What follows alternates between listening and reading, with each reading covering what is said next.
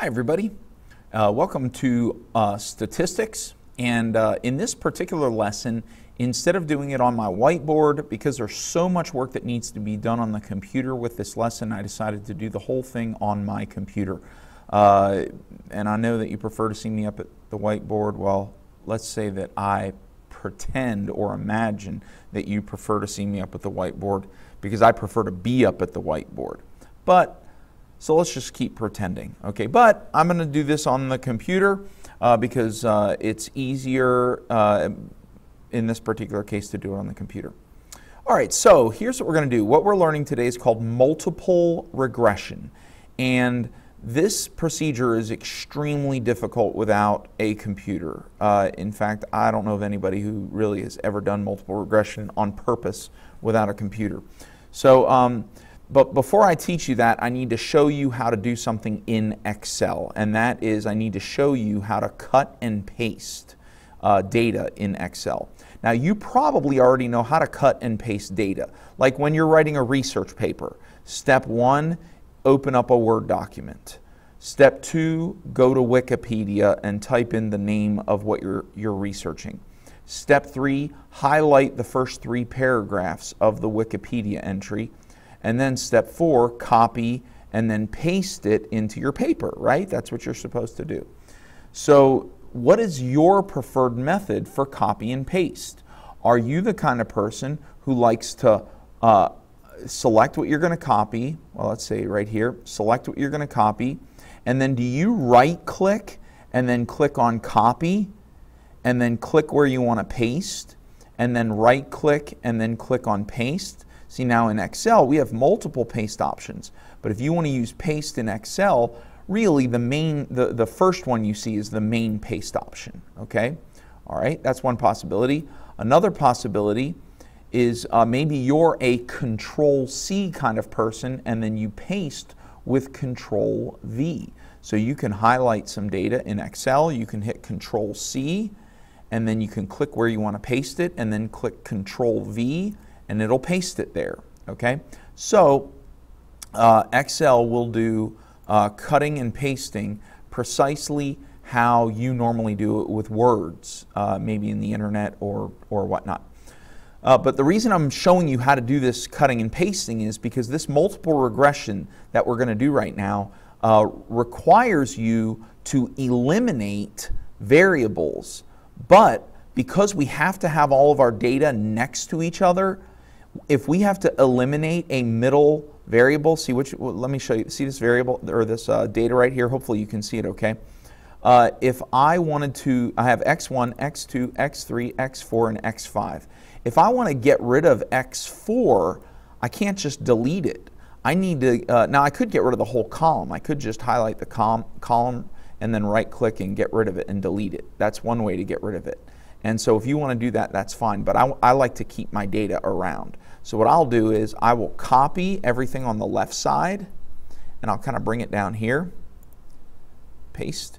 And then I'll copy everything on the right side, copy, and I'll bring it down and I'll paste it right next to it. So now they're all still right next to each other and I've left out uh, X4. Okay, so that is uh, one way to copy and paste. And you have to be able to do that in Excel to do what I'm going to show you right now. Okay? Or you can just eliminate the column. You can uh, click on the letter at the top of the whole column. You can right click and then hit delete, and that'll get rid of the whole column.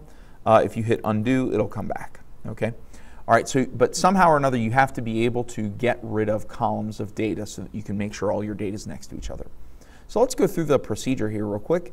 Uh, I'm teaching you multiple regression.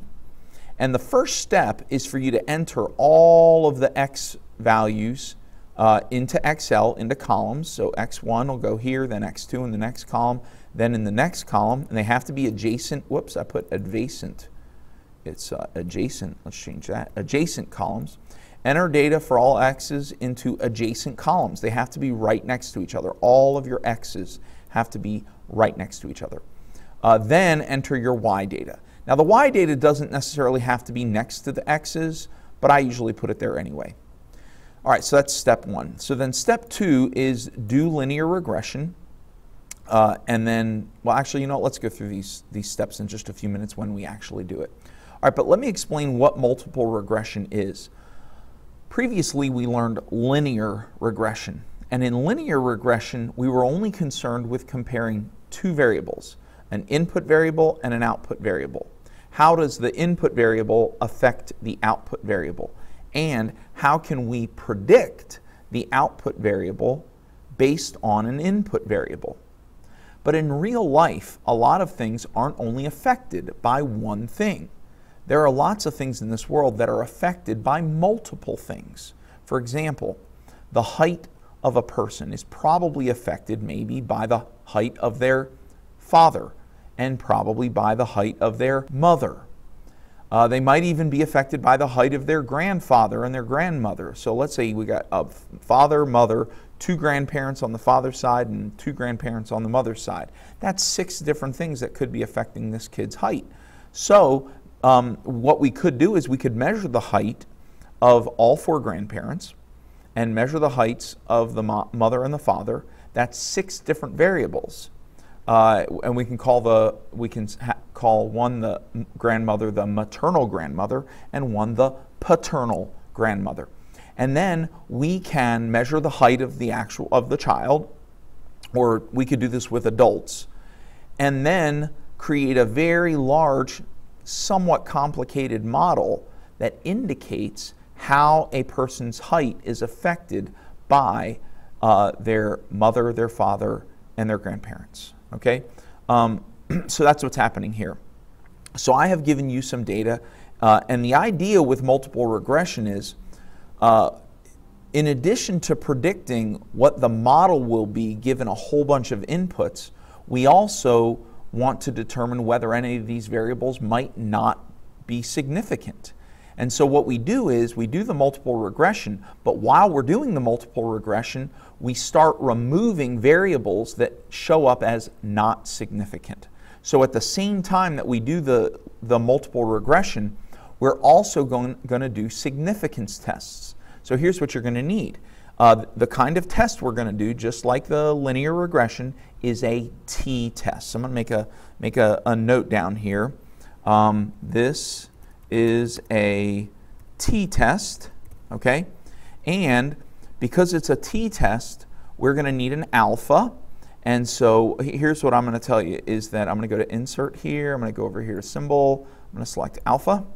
Uh, and then we're going to say alpha is equal to 0.05. What I'm saying is for all these multiple regression problems, in the real world, it's not always 0.05. That's not always our level of significance. But in this class, I'm only going to test you on uh, alpha of 0.05.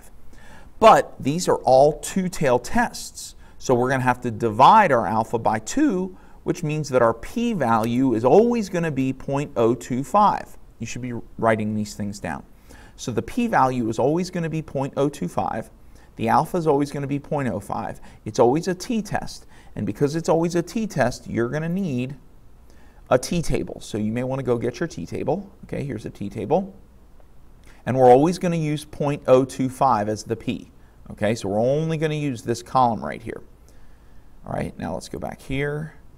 Uh, I think this, yeah, there we go. Uh, lastly, we need degrees of freedom, right? Because we're doing a t-test, so we need degrees of freedom. Now, I need to tell you how to get your degrees of freedom. Degrees of freedom are going to be n minus, now previously we've had degrees of freedom are either n minus 1 or n minus 2, right? Well, in this case, because we have lots and lots of variables, and in this case we have six different variables, x1, x2, x3, x4, x5, and y, which makes six. So we have six variables. And so the degrees of freedom is always going to be n minus the number of variables. But I'm going to show you how to easily find the degrees of freedom from the output of the multiple regression. Okay? All right, so let's go ahead and do a multiple regression. Step one is enter the data for all the x's, which I have done here. They're all entered in Excel. This is Excel and enter the y data. It's entered right here. Then it says do linear regression selecting all columns of x's for the input x range. Well, let's see what that looks like. I'm going to click on data. Then I'm going to go to data analysis here. And here's our data analysis window. We're going to select regression. Then we're going to click OK. And it's going to give us the dialog box for regression. Now under input Y range, I'm going to click on this right here and I'm going to select all the Y's. Now I'm going to include the label. See this label Y at the top of the column? I'm going to show you later why it's important that I select the label. Uh, so I'm going to select the label, press enter.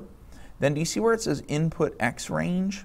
I'm going to click on this right here and I'm going to select all of the X's. See, I selected five columns and all of the rows.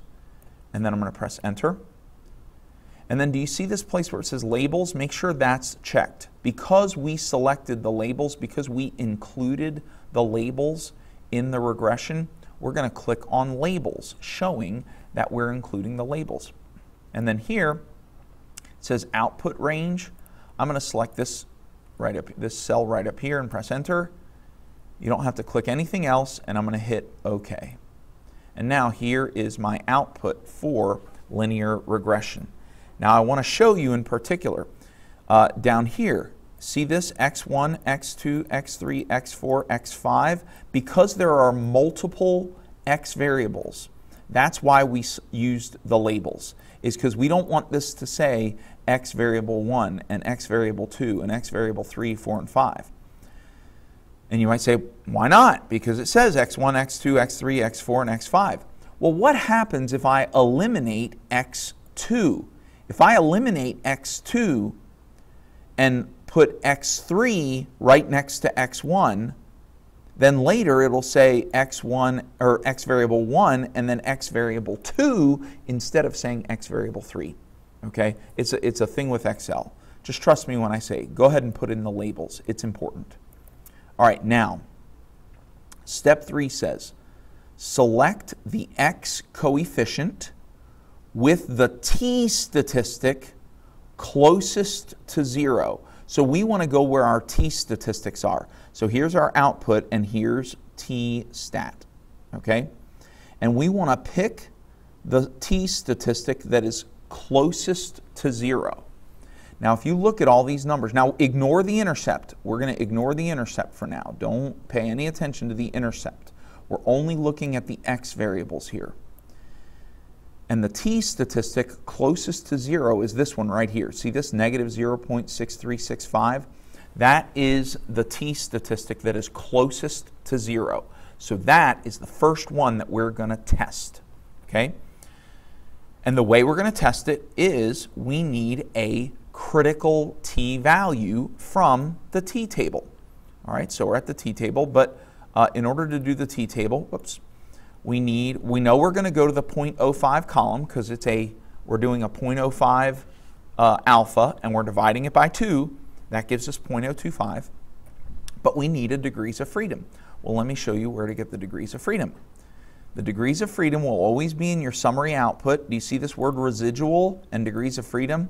The residual degrees of freedom is your degrees of freedom for this test, okay? So uh, our degrees of freedom in this particular case is six, okay? So we are going to go here, we're gonna go over to a six, degrees of freedom.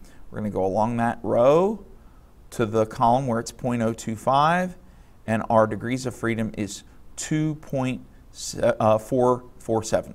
And that would be plus or minus 2.477 because it is a, so I'm going to put over here, uh, critical t value or t crit is going to be plus or minus 2.447. All right. And I, let's go get, let's see here. Let's get the symbol, the plus or minus symbol. Is it around here somewhere? There it is. All right, so plus or minus. So the critical t value, actually I'm going to put it up over here. There we go. Our critical t value is 2. Let's make it red and bold. There we go. 2.447. So our t statistic has to be either larger than positive 2.447 or less than negative 2.447. Another way to think about it is in absolute values. The absolute value of our t statistic here has to be larger than the absolute value of the critical t value, 2.447. Well, this, the absolute value of negative 0.636, is positive 6.636. And 0.636 is not larger than 2.447. That means that x1, this x1 variable, is not significant. And because it is not significant, we are going to eliminate it. Okay? So we're going to leave it out. So watch what I'm going to do. I am going to uh, delete x1. All right? There we go. I'm going to delete x1. All right, now I only have x2, x3, x4, x5, and, and, and then y. And now, if I, when I go over here, step three, it says, uh, if your x is significant, you're done with step three.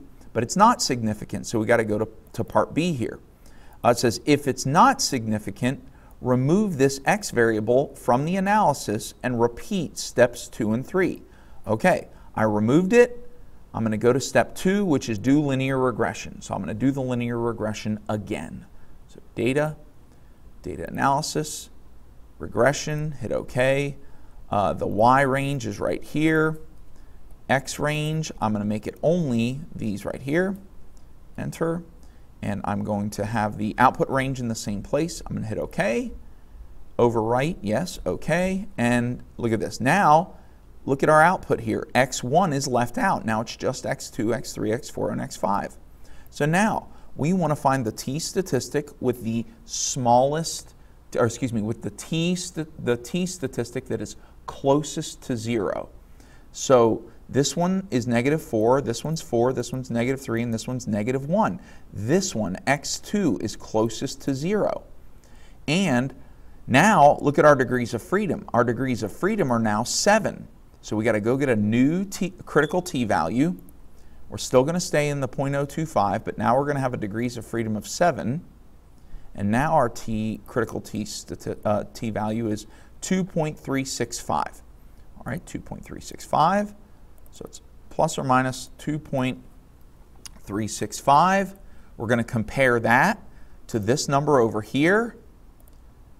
And look, this number, the absolute value here is 1.37. It's not larger than the absolute value of the, of the critical t value. Therefore, x2 is not significant because it's not larger than. So we're going to get rid of x2. And that leaves x3, x4, and x5. So we're going to do the, the multiple regression again. We're going to go to data, data analysis, regression, and now we're only going to select x3, x4, and x5. Enter. Hit OK. Overwrite the output. And look, notice the residual, the degrees of freedom, it went up again. Now our degrees of freedom are 8. So we're going to go back to our t-table, go to degrees of freedom 8, go to 0.025, and our, uh, our critical t-value is 2.306. So we're going to change this to 2.306. And now let's look at all our t statistics. All right, it looks like the one that's closest to zero is this one right here, this x3. But look, that's negative 3.636. The absolute value of that is 3.636 which is larger than the critical t value 2.306. Therefore, the x coefficient with a t statistic closer to zero is significant. And if it's significant, then we're done with step three. It says if it's significant, you're done with step three. Now we're going to go on to step four. Test the significance of the intercept coefficient. Well, here's the intercept right here. Here's the coefficient.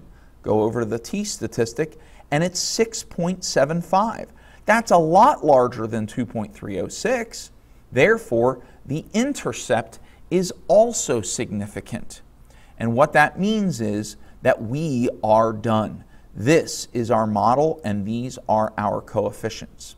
And what I'm going to do right now is I'm going to, I'm going to switch over to another uh, page and I'm going to show you now, well actually I'm just going to scroll down here, and down here I'm going to show you how to type in your equation, okay? All right, so this is our intercept coefficient. So what we're going to write is y hat, now I can't, well I can put a hat on here. Let's see if I can remember how to do that. I'm going to go to insert, symbol, And then I'm going to go down here to character code and put in 0302, enter, and then close. And it did, it put a little tiny hat. It's hard to see the hat though. But just know there's a little, there's a, if you look real close here, here, let's see here.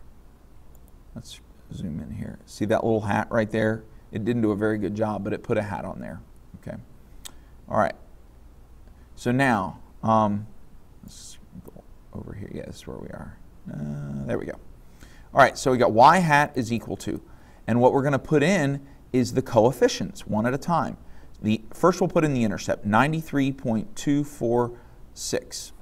So 93.246, and then we're going to go one x value at a time. We're going to do x3, then x4, then x5. Okay. So the first we put the coefficient, which is negative 0.064. So I'll put minus 0.064 and then x, x3. The next coefficient is positive 3.194, so I'm going to put plus 3.194, and then this is variable x4. In fact, let me put it in parentheses, the x4. x4, sorry, x3, and then the last coefficient is negative 1.012. So I'll put minus 1.012 and then x5. And what you're looking at right here, this is now our regression equation. Let's outline that. There we go. Here's our regression equation. It is a multiple regression equation, and it includes one, two, three variables. Why does it have three variables? Because three variables are significant, okay? And so that is how we do multiple regression. Uh, I think we should do another example, at least one more example. Let's get rid of this, and we'll clear that out. All right, and we will get rid of this and do another example. And I'll put some more, more data in here. Okay, I'm to go get example number two, get my data for example two, come back to the notes, and there we go. All right. Oh, it got rid of my thing down here that said this is a t-test. This is a t-test. Okay. All right, so what I recommend you do right now actually is pause the video, enter all this data. Yes, I know it's going to take you like seven or eight minutes, but that's the job. Okay, if you're going to be able to do this, you need to, you need to be able to enter the data. Enter all this data in X1. Make sure you put the label at the top, then X2, X3, X4, then X5, then Y. Okay, so pause the video and enter the data. Okay, so hopefully now you have all the data entered in Excel. Hopefully you have a T table lying around somewhere. And so now uh, we are going to do multiple regression again. So step one, enter all the data. You already did that. Step two, do linear regression, selecting all of the X columns. Okay, well, we can't select anything. First, we have to click on Data, then Data Analysis. Then we're going to select Regression and OK. When this dialog box opens up, under Input Y Range, we're going to click on this button over here we're going to select the Y letter with all of the numbers and press enter. Under input X range, we're going to click on this button over here, and we're going to click on the X labels and all the numbers, all five columns. Press enter. Uh, we're going to make sure labels is clicked, put a, put a check mark in labels. Make sure there is not a check mark in constant is zero. We're going to get to that later. All right, then under output range, Make, uh, just select uh, any cell over on the side, press enter, and then we're going to click OK. Now, the first thing I want to know is what are my degrees of freedom? Here, the, the residual degrees of freedom are 8. So I'm going to go to the t-table. I'm going to go to the column that says 0.025. I'm going to go to degrees of freedom 8, and it's already highlighted, 2.306. So I know that my critical t value here is going to be 2.306. Then I'm going to go down to all my variables, x1, x2, x3, x4, and x5, and I'm going to look at the t statistics for each one. and I'm looking for the one that is closest to zero. If there's two of them that are equally close to zero, just pick one, okay? But usually that's not going to happen. So look, it looks to me like this one's close to zero, the 0.87, but look at this one. This is 0.17.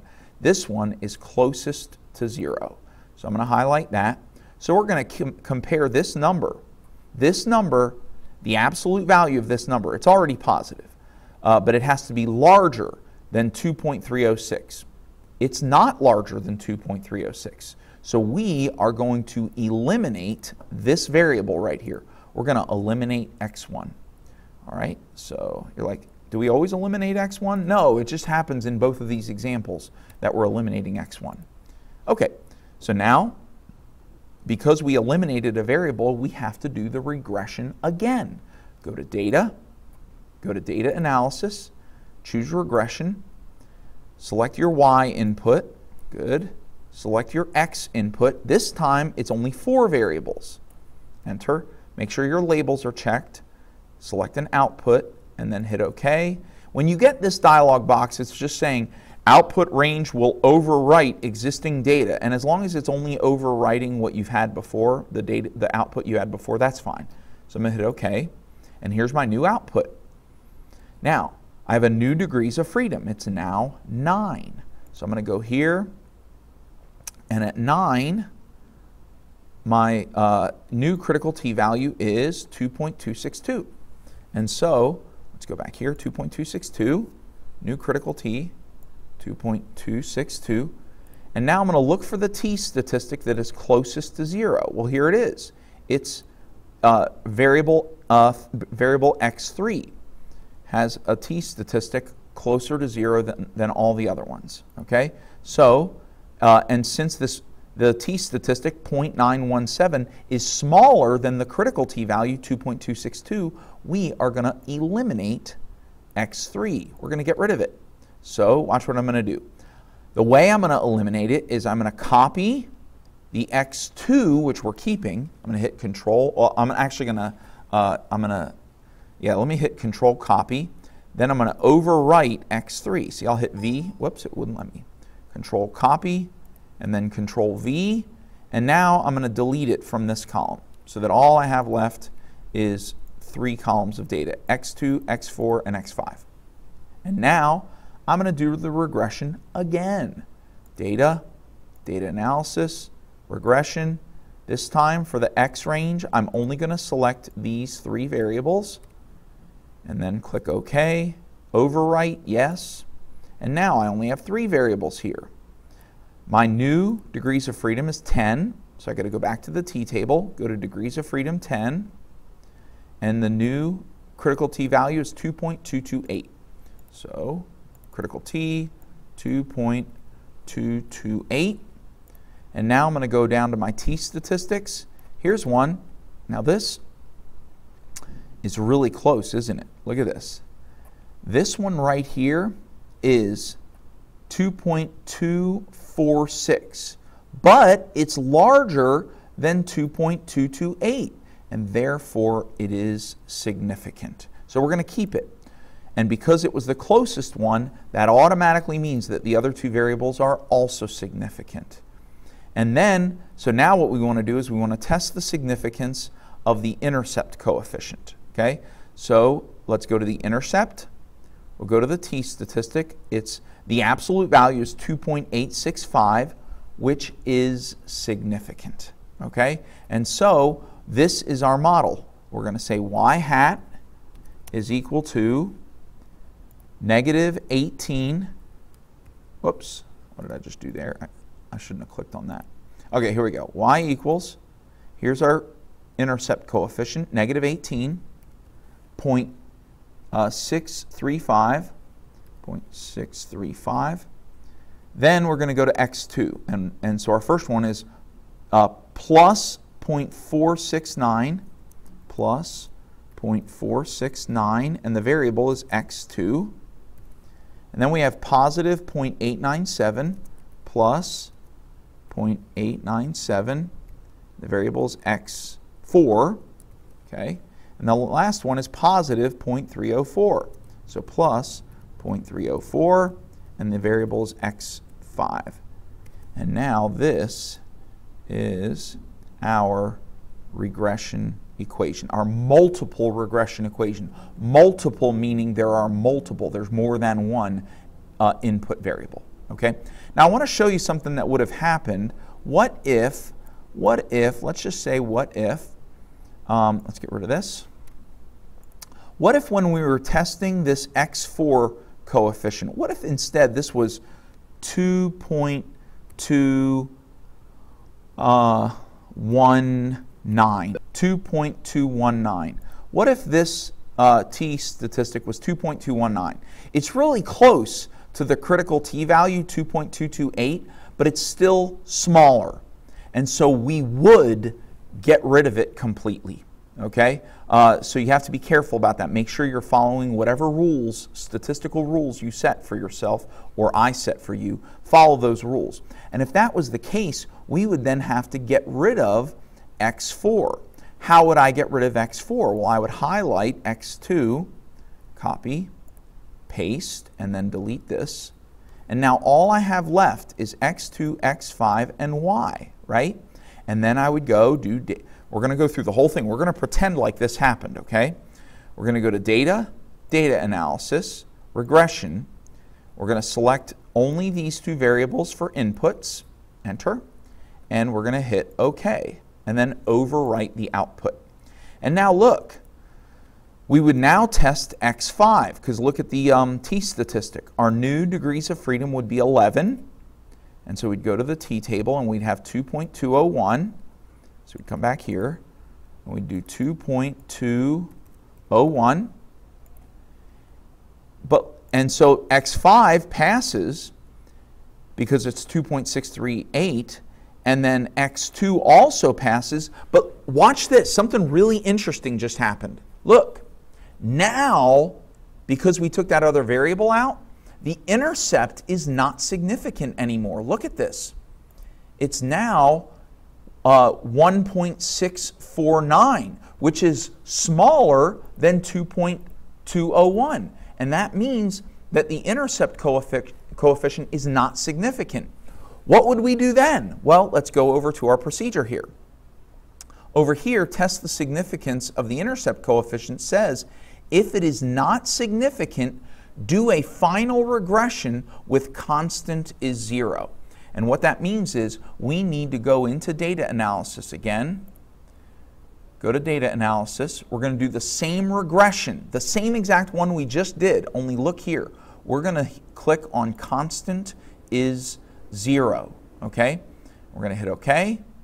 We're going to overwrite the previous results. And now, oh my goodness, look what happened. We, we now have the new regression where the coefficient is zero and look at this t statistic, okay? This x5 is now not significant anymore. And so we may now see this, what I'm trying to show you here is that this can become very complicated in real life statistics, okay? Uh, and, and, I'm trying to show you that you have to be careful when, you're, when you yourself are a researcher that every time you make a change to this multiple regression model, it changes everything else. Okay, so just be aware of that. Okay, um, I think I'll do just one more example for you, but I'm not going to spend a whole. I'm not going to. Uh, I'm just going to. Um, I'm going to do it really quick, basically. Okay, uh, let me eliminate one of these columns. Delete. I'm going to go get my last set of data, example three. Copy. I'm going to bring it over here into the notes. I'm going to paste it, and I'm going to get rid of this stuff down here. And so here is my last one that I'm going to do. I'm going to try and do it really quick for you. We're going to go to data, data analysis, regression. We're going to select our y values, which are right here, enter. We're going to select our x values, which are right here, enter. We're going to select our output range. We're going to put it right here. And we're going to take off. We got to remove constant is zero. We got to remove this, but we're going to leave the labels on. Hit OK. We're going to overwrite, and here is our analysis.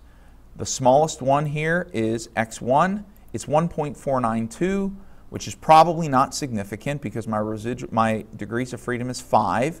So I'm going to eliminate x1 because I know that it's got to be at least 2, right? And this one is not at least 2. So I'm going to eliminate x1 again. I'm going to go to data, data analysis, regression, new inputs, just x2, x3, and x4. I'm going to hit OK, overwrite, yes. Now, look at this. They're all significant. 3.386, negative 3.384, negative 7.877, and the intercept is 8.071. And so I'm done with this multiple regression, and, I'm going to use these four coefficients for my regression model. Okay? So that's it. That's multiple regression. Uh, you may have to watch this video a couple times, but until you do a whole bunch of practice, you're not going to be good at this. And if you have any questions, let me know.